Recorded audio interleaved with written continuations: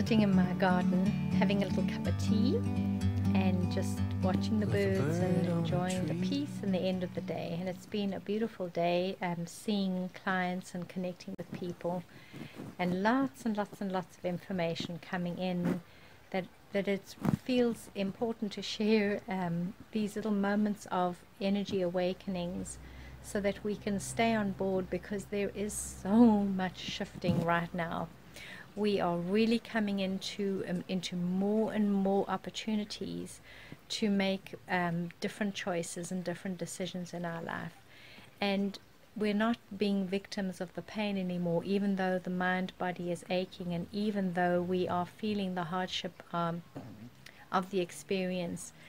The experience is just an opening a portal through which we can view something else. It's it's a way that the mind body is signaling discomfort. So we are feeling this discomfort in our emotional being, in our spiritual being, in our physical being. And we are knowing this discomfort on very many levels. So our body's getting it, our mind is getting it, but we're also getting it from the ones close to us. That's our family and our friends and those who are really, really close, so close that we do not wish to throw them away However, if we signal in our bodies going, ah, can't take this anymore, do not want to put up with this drama anymore, I've had it with this, I cannot keep doing this. So we are speaking our absolute truth when we are saying, I do not want this anymore. I cannot continue to play inside of this little drama karma cycle. And of course, we've all just come out of the end of the end of year holidays. And so this is when we have been richly activated because we have got this silly perception that we should all get together and we should all be jolly. Well, we're not. We're just jolly awful. And um, because we're here to activate each other and we are here to help each other get different ideas about why we are having this collective consciousness, this connection. So let me talk to you a little bit about what is um, coming in in the way of awareness with this whole drama karma activation that's going on. So here we are in our families, and one little trigger, one little word, one little sentence, one little whatever, and boom, we're into this entire trigger. And from our human self and from our growing up with the other self, we have all got impacted wounds, impacted pain. There's not one of us that gets through a whole life experience just having had perfectly beautiful, lovely experiences one with another. We've disappointed each other. We've hurt each other. We've been in our complete stupidity. And especially as children, we lay down a scaffolding of pain in our childhood because we didn't know. We were little, we were small. We didn't understand nuances. We didn't understand how spiteful words can hurt and harm each other. We didn't know this stuff yet. We just spoke, we blurted it out, and our little barbs of tongue and mind and our actions hurt deeply the other.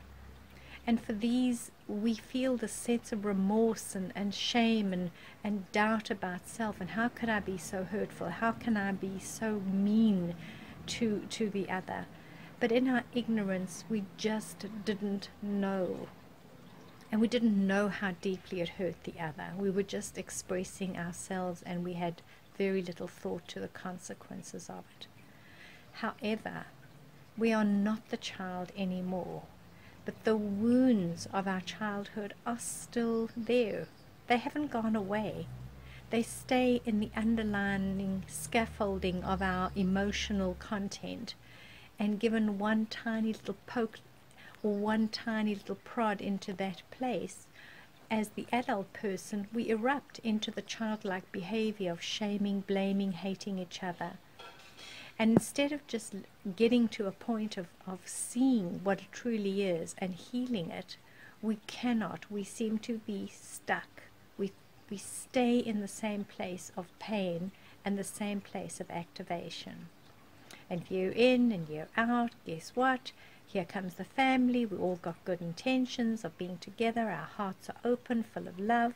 And boom, here goes one little signal and one little pain, and it ignites the whole bonfire, and here we all go, and we all collapse into a heap of misery and sadness and hardship. It's just completely ridiculous. We have to stop doing this. Whew. Okay, so how are we going to stop it?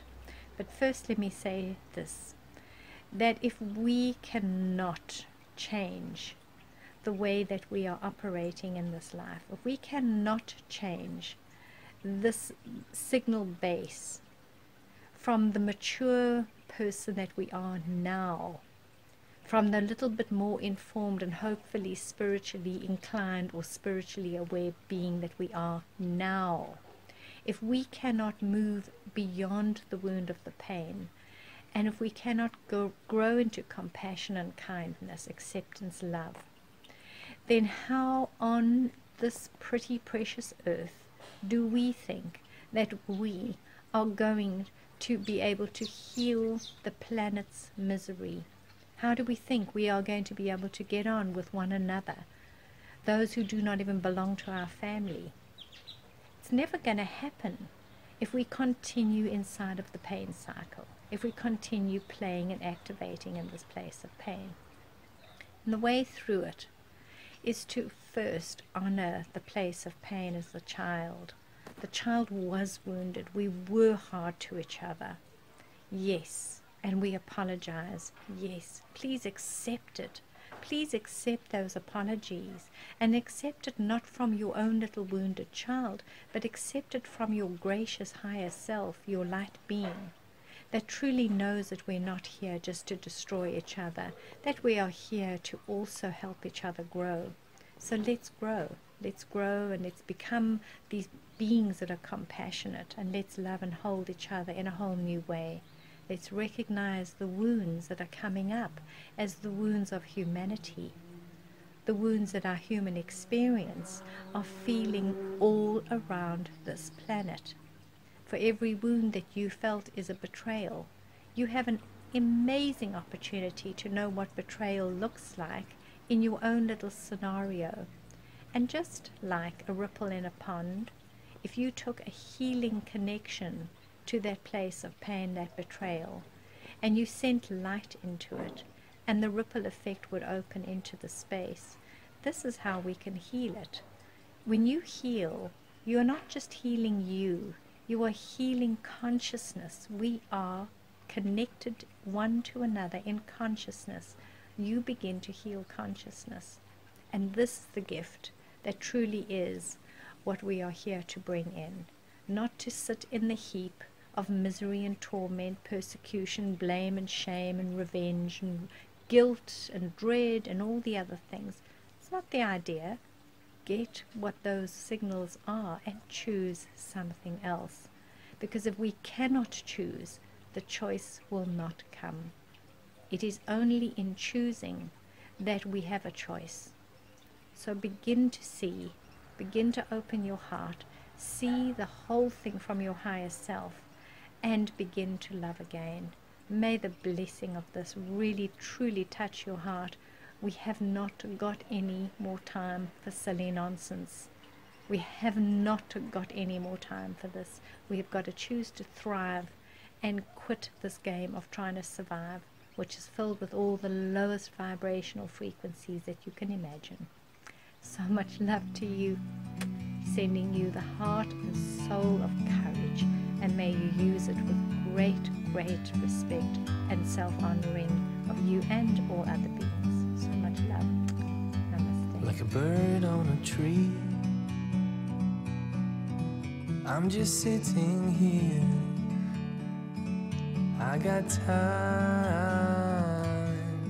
It's clear to see.